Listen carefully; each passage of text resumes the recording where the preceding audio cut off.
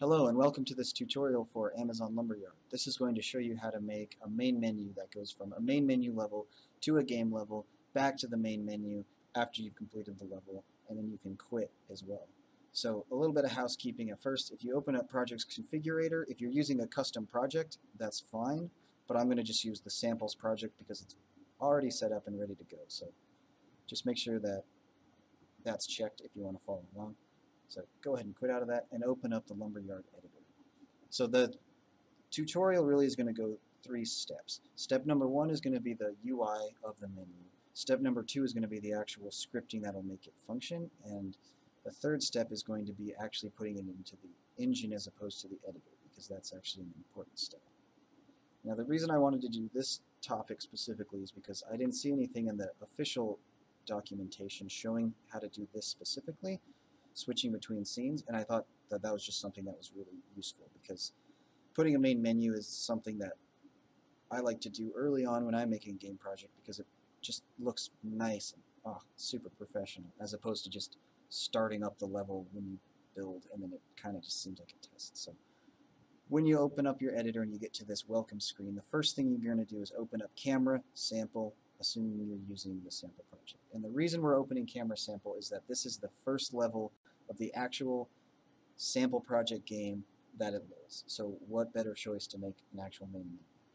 So step number one, UI.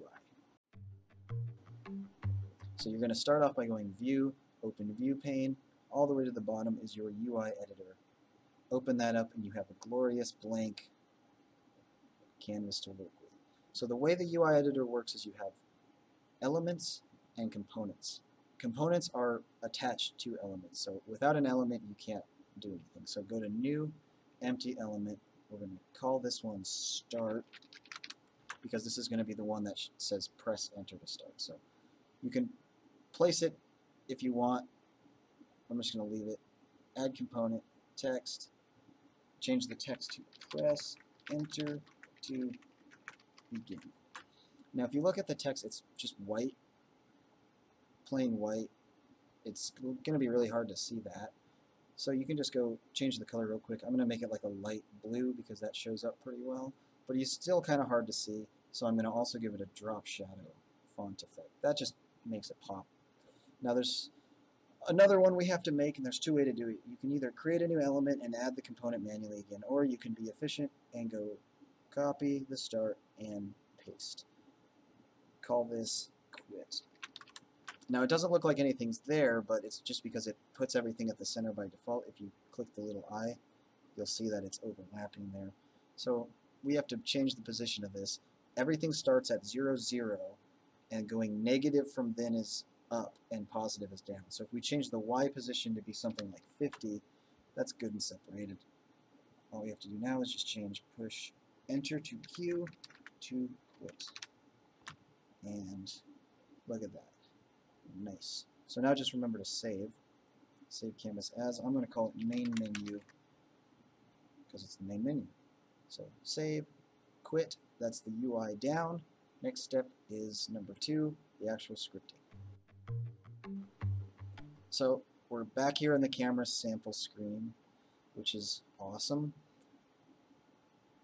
The first thing we're going to do here is we're going to go to this roll-up bar, which is kind of like your headquarters for every object in the game of various types. Like your brushes are just like geometric art objects. Your designer tool is how you make basic shapes. For now, we're going to go to the entities folder, which is kind of like physics and trigger type stuff. So we're going to go to default flow graph entity.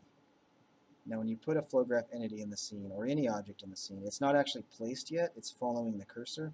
Once you click it, it's now placed. So click off of it and click back and do create flow graph. And this is going to be the start of our scripting journey. If you have a group in mind that you want to put it in just for cleanliness, hierarchical reasons, that's cool. I'm just going to put it in the none category. Now the flow graph window here, the three main things you're going to be using are search, which is if you're looking for something specifically, like I'm looking for input key, and actually spell it correctly then you'll see it down there. Voila, right there. Your components, this is all of the everything of scripting in your game to make things work, including making helicopters, which is rad. So in our flow graph entity one graph down here, you can see the hierarchy of our scripts because you can have flowchart scripts on any object you want or they can just sort of be floating in the level. I like to put them attached to an entity just so you know it's that entity script. So the flow graph entity is blank, which is awesome. We're going to start this off because we want the main menu to display at the start of the game. We're going to go to the aptly named game start node, which fires off when the game starts, either in-game or in the editor, and it has one output which can go to multiple things. And the output we want is in the UI canvas load.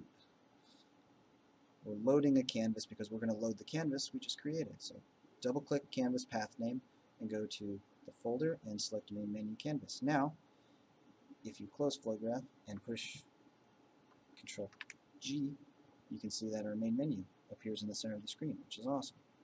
So push escape to exit that. Go back into your flow graph by going to view, view pane, flow graph.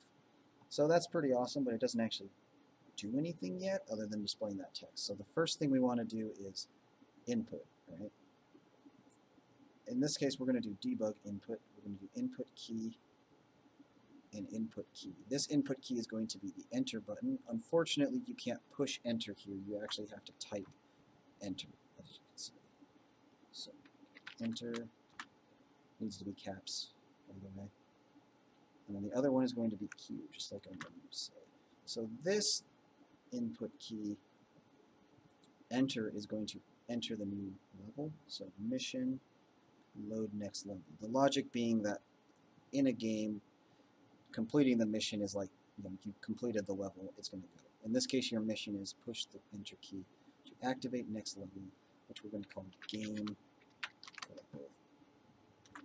Now game level doesn't actually exist yet, but this is just a text string, so it's not like it's looking for something that doesn't exist, so it's cool. Now this here, the debug input key, isn't going to load a new level, it's going to quit the application, so we're going to look for execute string, which is in the debug menu, pressed to set, and the string is going to be quit. And I'll explain that later, but basically this is going to type quit into the console, which is going to cause your application to quit. So this flow graph is complete in this level. So go ahead, you don't have to save this, you just have to X out of it.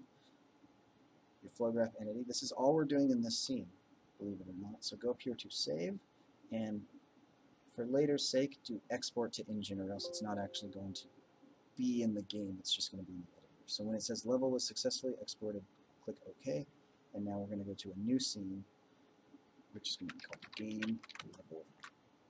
Now it it does a weird thing and it like minimizes your game. That's fine. Just leave it. Choose the defaults. Go like this, and then you have a glorious empty scene. Congratulations. The first thing we're going to do is here is put in a character, but we don't actually have one loaded yet, so we're going to go to View, Open Pane, Database View. This is where you get what are called prefabs, which are just things that are already made for you. It comes with a nice controller, so we're going to go to this button here, which is the Open library, character controller.xml, push OK. It's now loaded in the thing, as you can see. But if you quit out of this and go back and you're thinking like, oh, I don't have it anymore, so you go to prefabs and you go back and you're like, I need to reload it, you'll get an error because it's actually already loaded, so you don't have to do it more than once. It's in here in the roll-up bar, objects, prefab, voila. So the sphere controller is just a nice third-person controller just for ease sake. So just place that somewhere in the scene. Push Control G, you have a cool little robot buddy that moves around and you can jump. But this level really doesn't have anything in it, so we're going to add a little something something by going to the prefab, excuse me, the roll-up bar objects entity. This time, instead of entity defaults, we're going to proximity trigger, which is just like an area trigger, so uncheck it, right click it, create flow graph. Again, I'm just not going to group it because it's not really a big deal right now. Now in this one, we need it to be the proximity trigger specifically that you activate. So get your proximity trigger, make sure that's selected, and go right click in this empty bit and do add selected entity. Now this is a node that gets triggered when one of these conditions happen to that specific proximity trigger. In this case, we want the enter key.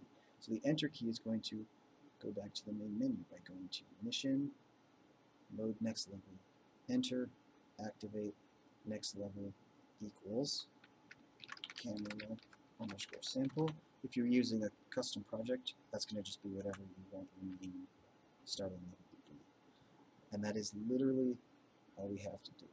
So one thing I like to do is that it's hard to see that trigger, like it's invisible in the game. So I'm going to go to Brush, Objects, Style, Town, Architecture, Props, Balloon. You can choose whatever you want. I'm going to put a balloon because who doesn't love balloons, right? So now that's placed, you know where the trigger is. So if you push Control G and play the game and you're like, let's test these menus out, and you go on the trigger and nothing happened. Which you can see if you look at the very bottom of the screen, you have a console that says function and level not found in the table, suppressing loading of next level camera sample. That's because this is in the editor right now, and the load level function only works in the actual build of the game. So this is going to lead straight into step three, putting everything into the actual engine. So, save the scene that we just made and do export to engine. If you forgot to do this in the previous camera sample level, make sure you do that because they both have to be exported. And now go open up your Windows Explorer and you have to find where this sample project launcher is. If you put Amazon Lumberyard where it wanted to be when you installed it, it would be under your C drive, Amazon, Lumberyard, version number, dev, bin64. At the very, pretty much very bottom is your sample project launcher. Double click that. You'll get a cool beaver with a saw, which is super rad. And if you look closely, you'll see other beavers doing various construction jobs. I like the one over here that drives a crane, because that's rad. That one has a hammer.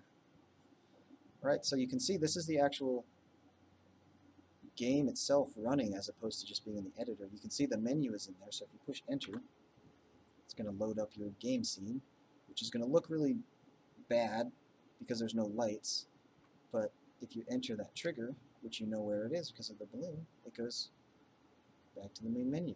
Congratulations, you beat the game.